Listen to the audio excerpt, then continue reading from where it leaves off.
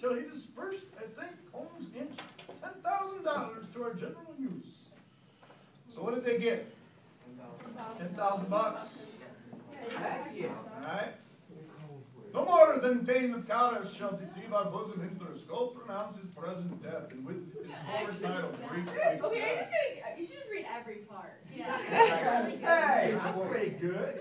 I'm not saying you're good, but it'd look funny if he was like talking to himself in like a whole bunch of different accents. So this is pretty important right here, no more than Thane of Cawdor shall deceive our bosom interest, go pronounce his present death, and with his former title, greet Macbeth. So what is Macbeth getting? Say that right. The, the crown.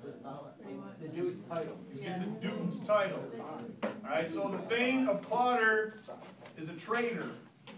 And Duncan says, screw that. We'll go kill him, and since Macbeth did such a good job in the war, we'll give him his, his title,